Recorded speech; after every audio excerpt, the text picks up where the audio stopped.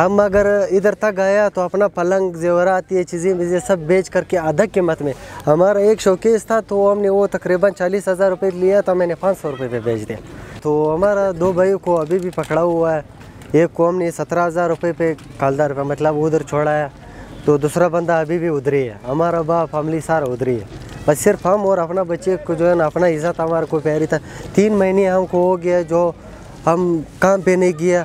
तो हमारी ज़िंदगी उधर बहुत मुश्किल रहा। हमारा सत्ताईस साल उम्र है, हमारा पैदाइश कोयठा में हुआ, फिर वहाँ से गया हम कराची। कराची में तकरीबन पंद्रह साल उधर ही रहा। पंद्रह साल के बाद कराची में ये मुश्किल आया कि भाई, मजर के पास अगर मजर काट हो भी तो उसको कोई छोड़ता था, कोई जो है ना पकड़ता था। मतलब उसकी ज़िंदगी मुश्किल में था। ना अपना काम पे जा सकता था, ना अपना कारोबार कोई कर सकता था।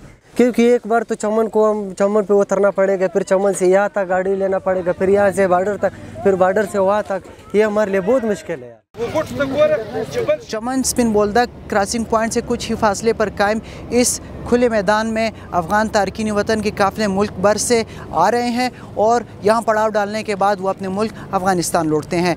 ज़िली इंतज़ामिया की जानब से एक होल्डिंग सेंटर भी कायम किया गया है। जब हम कवरेज करने के लिए उस होल्डिंग सेंटर पहुँचे, वहाँ हमें कवरेज करने से रोका गया।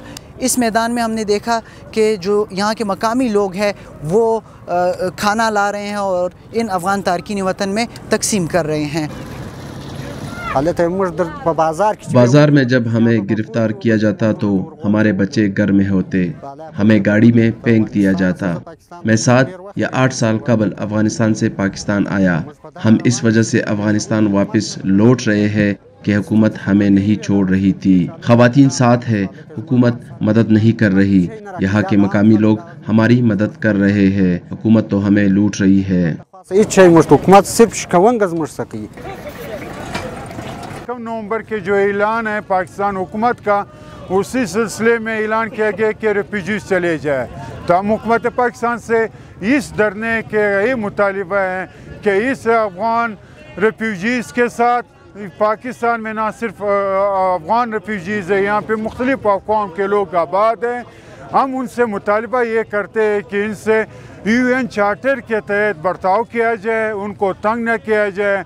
इनके जायदादें मजब ना किया जाए, इनके बजोर शमशीर ना भिजवाया जाए, जो यू एन चार्टर के जो हैं रेफ्यूजीज़ के, उनके साथ यून के कानून के तहत और दुनिया जान के जो कवानी है, उनके साथ बर्ताव किया जाए, और जो पाकिस्तान का अपना कानून है 1951 सिटीज़न एक्ट 1952 सिटीज़न एक्ट और इसी तरह के पाकिस्तान के दुनिया जान के साथ जो माहे हैं, उन्हीं के तहत इनके साथ बर्ताव किया जाए। और ये लोग जो हैं, जो मैंने अभी आपको गिनवाए हैं, मुख्तलिफ़ एक्ट्स इनके तहत इनको शहरी हकूक हासिल हैं कि जो बच्चा यहाँ पे पाकिस्तान में पैदा हो जाए और जो 20 साल कम से कम उनकी उम्र हो वो यहाँ के सिटीज़नशिप के लायक हो जाता है उनको यहाँ की शहरीत मिल जाती है लेकिन यहाँ के लोग यहाँ पे अफगान रेफ्यूजीज पिछले 40 साल से यहाँ पे अपनी रोज़गार कर रहे हैं यहाँ पे ज़िंदियाँ गुजारी उनकी तीन नस्लें यहाँ पे आबाद हैं और ना सिर्फ़ ये वो आजकल कल मैंने यहाँ पे रेफ्यूजीज कैंप में देखा वो यहाँ के जो बच्चे अफगान रेफ्यूजीज वो उर्दू बहुत अच्छी बोल सकते हैं लेकिन पश्तो नहीं दरी नहीं